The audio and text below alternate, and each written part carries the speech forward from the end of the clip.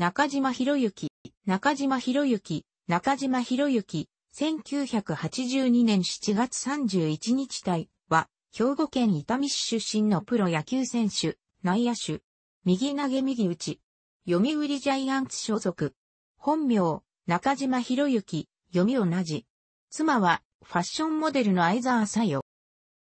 NPB での登録名は、西武ライオンズ埼玉西武ライオンズ在籍時及び、オリックスへの移籍1年目の2015年は本名を使用し、2016年からは中島博之、読みは本名と同じへ変更している。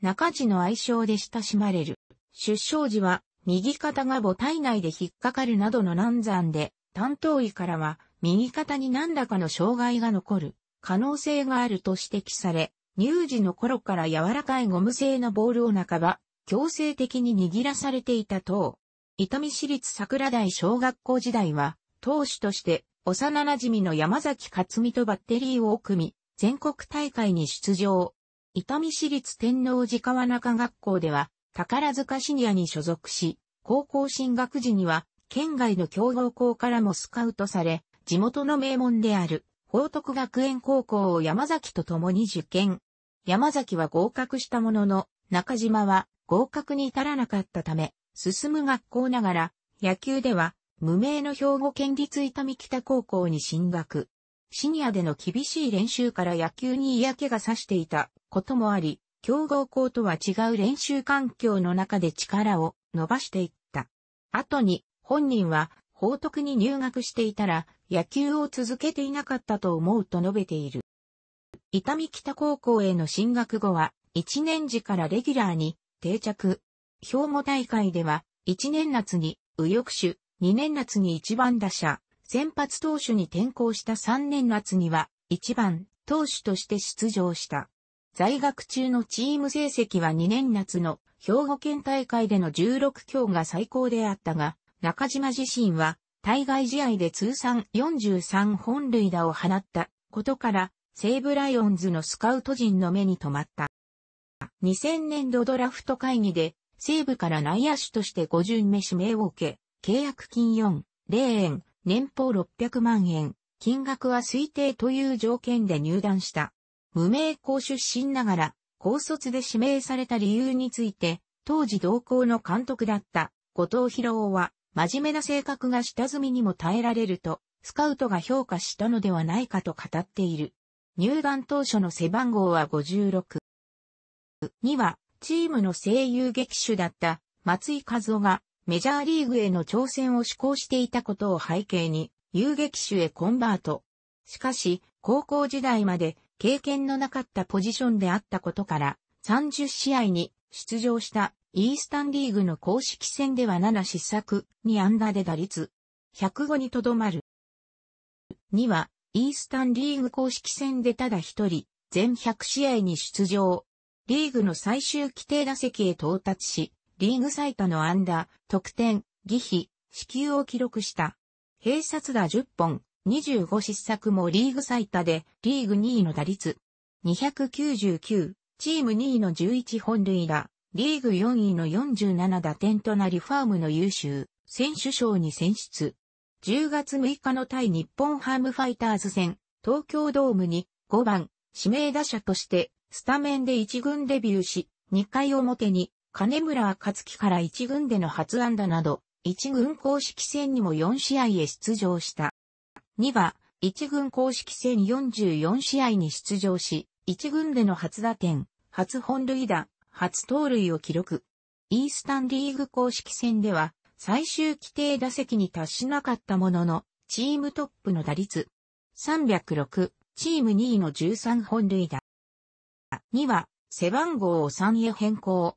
前年までの声優劇手だった松井が、海外 FA 権の行使によって、ニューヨークメッツへ移籍したことを背景に、一軍公式戦の開幕から7番、遊撃手としてスタメンに抜擢。その後も声優劇手は2が重すぎるとの声もある中で、監督の伊藤務からスタメンで起用され、オールスターゲームにも監督推薦で初出場した。同年のパシフィックリーグでは唯一フルイニング出場し、打率287、リーグ19位、27本塁打、リーグ8位、90打点、リーグ7位、18盗塁、リーグ4位を記録。は、イレギュラーバウンドした打球を顔面に受けて、頬骨を骨折し、戦線離脱。復帰後はレギュラーに戻り規定打席に到達して打率。274、リーグ19位、11盗塁、リーグ7位を記録したが、リーグ3位の17併殺打、遊撃手として、リーグ最多の10失策を記録。は、開幕から3番打者を務め、オールスターゲームにも選出され、一時首位打者争いに加わるなどチームの首位争いに貢献した。7月30日の楽天戦で山村博樹から支給を受け、左第4、中手骨を骨折したが予定より早い9月12日に復帰した。打率306で初めて3割に到達した。守備では2年連続で遊撃手部門リーグ最多の16失策を記録し、同年オフの契約公開では、球団初となる守備での出来高払いが設定された。も開幕から3番で起用され、オールスターゲームに3度目の出場を果たした。両リーグ通じて唯一の9試合連続打点を記録するなど、リーグ5位の打率300、同3位の160アンダー、チーム2位の74打点を記録したが、リーグ3位の134三振と、レギュラー定着以降減少していた、三振数が倍増した。守備でもリーグ2位、遊撃手としては3年連続リーグ最多の20、失策を記録。北京オリンピック野球日本代表に選出され、オールスターゲームにも4度目の出場。共に、同じ遊撃手の川崎宗則、西岡剛が選出されたこともあり、オールスターゲームでは三塁手を務めたが、悪送球による失策を記録した。北京五輪では、川崎の故障によって、主に遊撃手を務めた。4年ぶりに20本塁打を記録とリーグ優勝に大きく貢献した。前半戦終了時にリーグトップだった打率は、後半戦に入って徐々に落ちていったが、楽天のリック・ショートと首位打者を争い、楽天との最終戦までもつれ込んだ。結果は7猛差で及ばなかったが、自己最高の打率331を記録。最終戦後には敬遠されなかったことについて、勝負してくれて嬉しかったと語った。シーズン成績はチームトップの55式を選び、それぞれ自己最高を更新する出塁率。410、25盗塁で、初タイトルとなる最高出塁率を獲得した。遊撃守備では、リーグ2位の12失策を記録したものの、守備率は遊撃手、部門2位を記録して送球ミスも減り、ゴールデングラブ賞とベストナインを初受賞した。同年、かつて西部で背番号3をつけていた清原が引退を表明し、オリックスバファローズとの最終戦の日にユニフォームの交換を行った。巨人との日本シリーズでは、第1戦と第2戦で2試合連続ホームランを放つ。第5戦では怪我で途中交代したものの、第6戦以降も満身創痍でスタメン出場し続け7戦すべてで安打をマークし、日本一に貢献、優秀選手に選ばれた。オフの契約公開で年俸2億円に到達。野球をやっている以上、いろんな国の選手がいる中でやってみたいという夢はあります。メジャーに行けるような選手になりたいと将来的なメジャーリーグ挑戦志向を明かした。は、第2回 WBC の日本代表に選出された。一次選考選手発表の際に一郎は、片岡駅士、岸高幸らと共に、選ばれれば日本代表のキーマンになる3人と語った。大会では2番遊撃手として出場、発熱で一部の試合を欠場したが、2度目のキューバ戦でスタメンに復帰した。チームトップの打率364、出塁率516、7打点を記録して日本代表の大会2連覇に貢献。ペナントレースでは開幕から25試合本塁打がなかったが、6月21日のヤクルト戦で通算100本塁打を達成。オールスターゲームに選手間投票によって選出され5度目の出場。第2戦でファウルボールを観客席に突っ込んで補給するなどしてベストプレー賞を受賞し、守備で賞をいただけたことが嬉しいとコメント。主に3番遊撃手として、リーグで唯一全試合フルイニング出場して、シーズン後半には故障した中村豪也の代わりに4番打者も経験し、2年連続3割、20本塁打20盗塁、史上5人目、自己最多の92打点、173安打で、自身初の最多安打、出塁率。398で2年連続となる最高出塁率のタイトルを獲得し、2年連続でベストナインも受賞。遊撃守備では初めて守備率980台をマーク。は一時打率が4割を超えたが、シーズン終盤はチャンスでの併殺打が増えた。同年オフには、ポスティングシステムを利用したメジャーリーグ挑戦を球団側に訴えたが、交渉窓口となった球団本部長、当時の前田康介が話し合いの結果、残留で決まったと報道陣に対して一方的に発表したことから、中島は勝手に発表された。分かったとしか言われていないと、事実と異なる説明をされたとして球団に対する不信感を論にした。その後、監督の渡辺久信の仲裁により、球団側と再度話し合い、残留することが正式に発表された。はこの年から導入された統一級の影響もあり、5月までは打率266、3本塁打、アップス771と調子が上向かなかったが、6月から調子を上げ、6月から9月まで打率312、9本塁打、アップス819と復調。7月11日のオリックス戦では警告試合を引き起こしている。ことの発端は6回裏に高宮和也の2球目が中島の背中に直撃。これに中島が激光してマウンドへ歩み寄ると両チームがベンチに飛び出し乱闘寸前の雰囲気となった。試合は9対1で勝ったもののオリックスはしょうもないチーム今年のうちに必ず試合中にやり返しますよと発言した。最終的にこのシーズンでの対オリックス戦は打率383、36安打の18打点と、滅法強かった。チームが最下位に沈んでいた7月25日のロッテ戦では、決勝本塁打を放ち、ヒーローインタビューではこの試合からキャプテンに任命されて、右胸に C の文字が入ることを報告した。しかし10月は打率271、本塁打なし、アップス612と再び調子を落とし、5年連続で記録していた打率3割が途絶えた。最終的に右投手に対しては打率316と例年通りの成績を残したが、左投手に対しては打率237と苦手とした。本塁打も16本と4年ぶりに20本を下回ったが、得点圏打率はリーグ2位の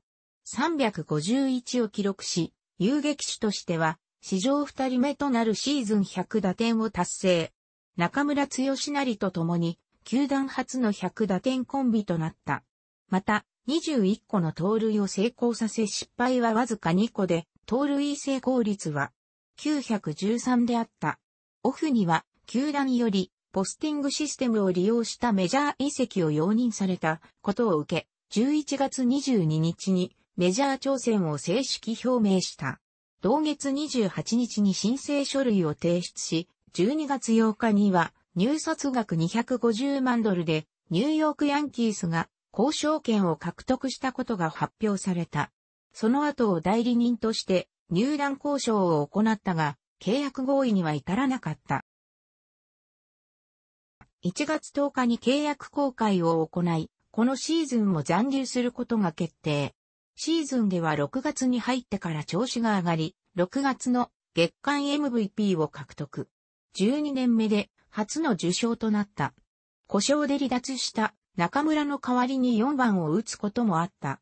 首位打者を牽引していたが、8月に腰の状態が悪化、9月に左脇腹板を発症してからは打率が下がり、ロッテの角中克也と首位打者を競うことになる。ロッテとの最終戦では1打席は死球。2打席目も敬遠気味にボールを投げられ、その際2球わざと空振りした。最終戦では2打席凡退し、打率311、一輪差で首位打者を逃した。オフには海外 FA 権を行使する。2012年12月18日にオークランドアスレチックスと総額650万ドルの2年契約出来高、3年目は年俸550万ドルの球団オプションで契約。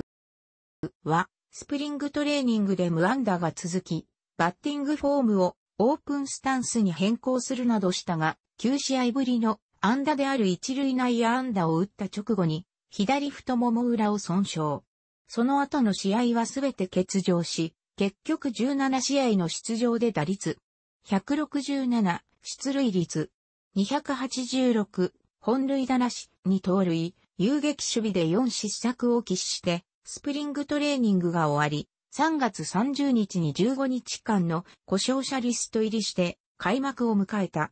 5月3日にはトリプル A 級サクラメントリバーキャッツの公式戦に出場したが、翌日に左太ももの痛みが再発し再検査を受けることが発表され、23日に25人枠から外れる。トリプル A 級では遊撃手の他に三塁手と二塁手でも起用され、6月7日のツーソン戦まで10試合連続安打を記録し、前半戦は52試合の出場で打率279、4本塁打、アップス729に盗塁の成績を記録したが、8月16日に40人枠から外れる。後半戦は38試合の出場で打率289、本塁打なし、 OPS 652、1盗塁の成績で2013年シーズン成績は、打率28-3本塁打、 OPS 698でチーム平均は OPS 776を大きく下回る。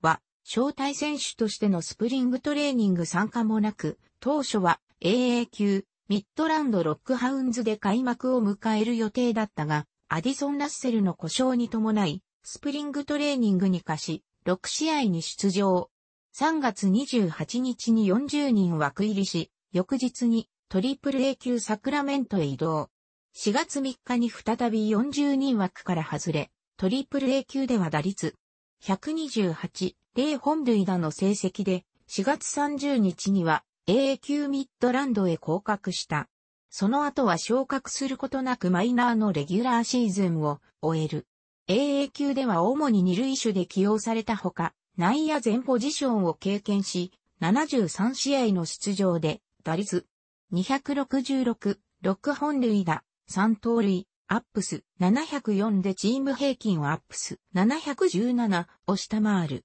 チームはプレーオフに進出するが、ディビジョンシリーズ第1戦のフリスコラフライダーズ戦で左手首を骨折する。オフの10月30日にアスレチックスが550万ドルの2015年球団オプションを破棄したため FA になった。FA 選手ランキングを扱った記事では全165人中165位にランクされた。アスレチックス GM のビリー・ビーンは中島の獲得に関して地元紙オークランドトリビューンのインタビューで大失敗だった。大金を積めばいい選手が取れるという考えはやはり浅はかだったということが図らずも証明されたと語り、スポーツライターの薄北信業によると、中島の獲得は日本での宣伝効果を見込んだものであり、多少期待外れでも中島をメジャーに昇格させるつもりだったが、あまりにひどすぎて使い物にならず、結局目をつぶることができなくなったという。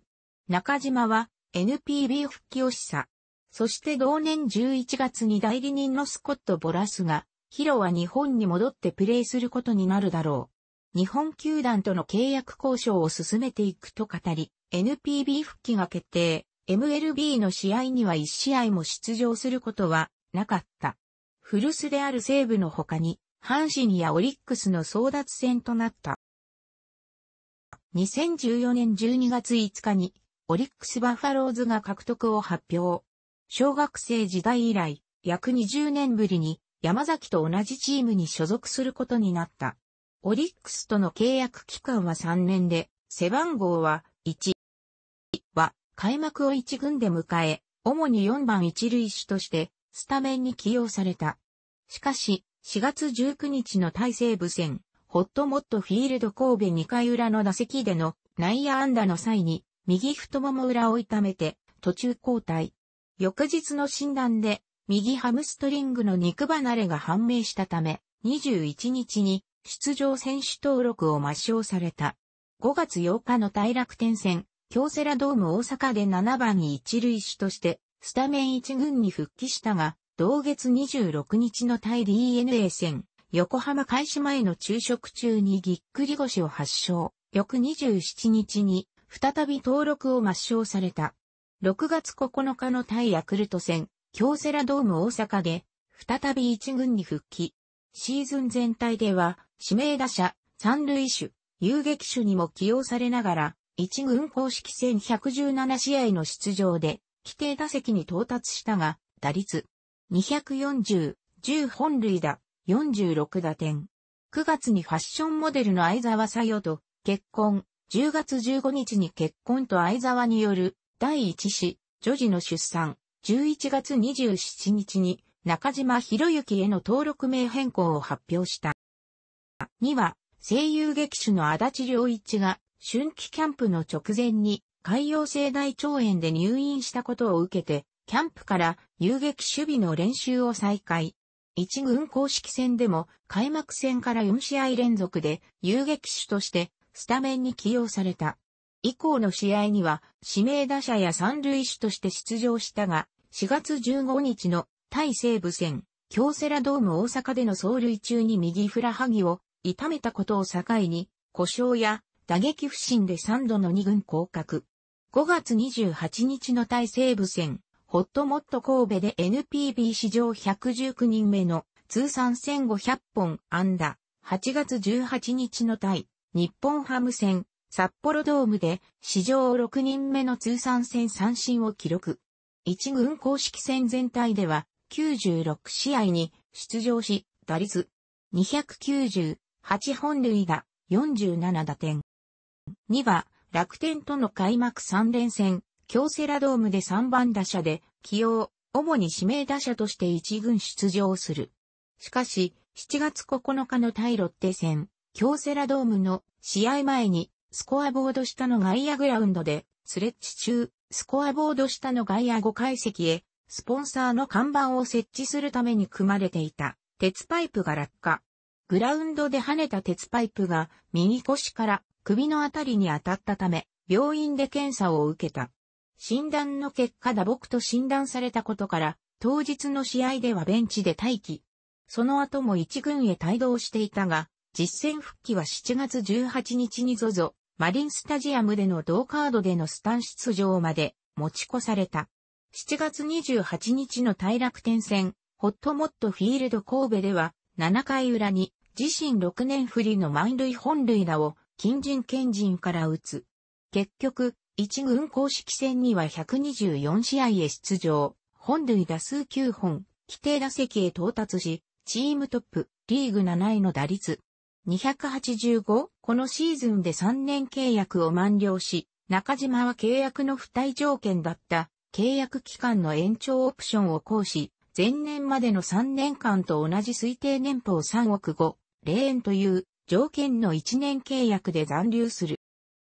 は、開幕から代打での起用が多くなるが、打撃不振で5月18日に登録抹消、6月14日に復帰後はレギュラーとして試合に出るも6月28日の西武戦で肉離れを発症し戦線離脱する。8月4日に復帰し8月12日のロッテ戦でサヨナラ敵地だ。9月1日の西武戦でサヨナラ3ランを打ち、シーズンを通しては、オリックス移籍後最小の77試合出場で、打率289、5本塁打、34打点。シーズン終了後、球団は減額制限、1億円超は40%を上回る減俸を提示するが、本人がそれに納得せず、11月2日、球団に対談の意思を伝え自由契約となる。2018年11月22日、読売ジャイアンツは中島と選手契約を結んだと発表し、東京ドーム内にて原辰徳監督同席のもと入団会見を行った。その際、背番号は5となることも合わせて発表された。巨人の背番号5を日本人選手が尽きるのは2005年まで在籍していた清原和弘以来14年ぶり。は、開幕を1軍で迎えたが、打率171と不振に陥り、5月31日に2軍に降格する。6月19日に1軍に昇格すると、その日のオリックスバファローズ戦では代打として出場し、榊原翼から移籍5発ホームランを記録した。代打でのホームランは8月11日の近鉄戦以来16年ぶりだった。バットを高く掲げた特徴的な構えからスイングする。相手の呼吸に合わせて間合いを取るため逆に自分の呼吸を読ませないように考えた結果、左腕が上がって口元を隠すフォームに行き着いたと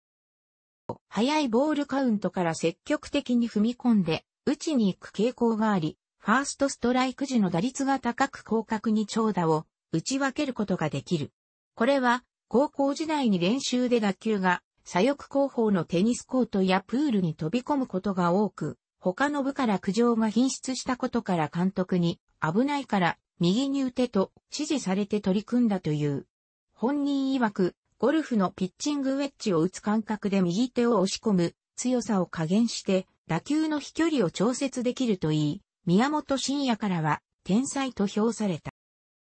反発力が定められた基準を下回ったボールが使用されていた2011年から2012年までの通算対左打率255と左投手に弱いが同対右打率321と右投手に強い。同得点圏打率318と勝負強さも備え、10打席に一つ近い割合で支給を選ぶ、選球眼も兼ね備える。一方でバントは苦手としており、犠牲バントのサインが出ると、投手が楽なところに投げてこないかなと、毎回思うという。また、狙った場面で犠牲フライを打つ技術も持ち合わせている。西部時代は遊撃手としてプレーし、守備では下半身と地型を活かしたプレーを特徴とする。レギュラーに定着した頃は失策数も多かったが、ゴールデングラブ賞を受賞した2008年から守備練習をやした結果徐々に堅実さが加わり、2010年にはリーグ2位の守備率を記録するなど、例年守備率を向上させている。一方で、遊撃手としては、守備範囲が狭く、2010年には守備イニング1000以上の同ポジション中で、両リーグワーストのザーマイナス19.4を記録し、2012年にも両リーグワーストのザーマイナス23.2を記録した。アスレチックス参加のトリプル A サクラメント、AA ミッドランドでは、遊撃手だけでなく、三塁手や二塁手としても起用された。ほか、2014年シーズンの終盤は一塁手も経験した。日本復帰後、守備を指導した森脇浩二監督は、まだまだ伸びしろがあるし、天性でやっている部分もある。理にかなうことが大事と語っている。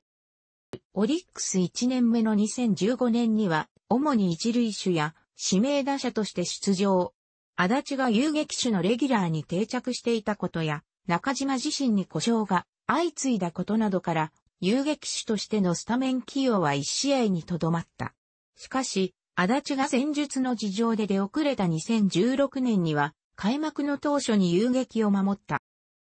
走塁では一塁到達タイムは5秒台が多く、よくて4.25秒と足が速い方ではないが、ベースランニングはうまい。三塁打時には12秒台前半を記録し、盗塁成功率も日本での通算約75%を誇り、このためメジャーリーグのスカウトからはスピードのあるマイケル・ヤング、頭脳的なベースランニングのラン、得点、プロデューサーと評価された。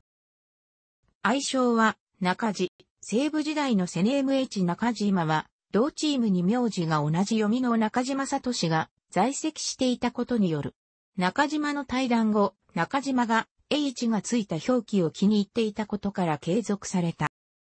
西部の後輩野手たちからは、打撃のアドバイスを求めても、返答は、擬音が多くてわかりにくい。時々何を言っているのか理解できないことがあると言われている。球場に来た長島茂雄から、打撃指導を受けた際、長島独特の擬音を交えた指導に、他の西部の選手が首をかしげる中、中島のみ、長島さんの理論が分かりましたと語ったという。女性人気が高く、2010年のバレンタインデーには、チームナンバー1となる120個のチョコレートが届いた。一方で、ファン感謝デーなどの際に、いきなり女性に尻を揉まれるといったことも頻発しており、試合だけでなくこれらの行事などでも、ファウルカップを着用している。シーズンオフには、チームメイトのつてを頼って海外に一人旅に出ることが多く、2008年にはアレックス・カブレラの出身国であるベネズエラ、2009年は同じくヒラム・ボカチカのプエルトリコに旅出ている。特にスペイン語ができるわけでもないのに物おじせずに旅に出る姿勢から金村義明から絶対メジャーリーグ向きだと評された。現在の妻で4歳年上のアイザーとは2011年1月に女性ファッション誌の対談連載企画で初対面。その直後に中島が相沢にデートを申し込んだことをきっかけに同年5月頃から交際が始まった。中島がアスレチックスに在籍していた時期にも遠距離恋愛を続けていたという。オリックス入団後の2015年に第一子の誕生がきっかけで結婚を決意。2016年から自身の登録上の名前をひろゆきに変更したのは、長女の命名を依頼した生命判断関係者から自身の名前にひろしの字を入れた方が良いと勧められたことによる。楽しくご覧になりましたら、購読と良いです。クリックしてください。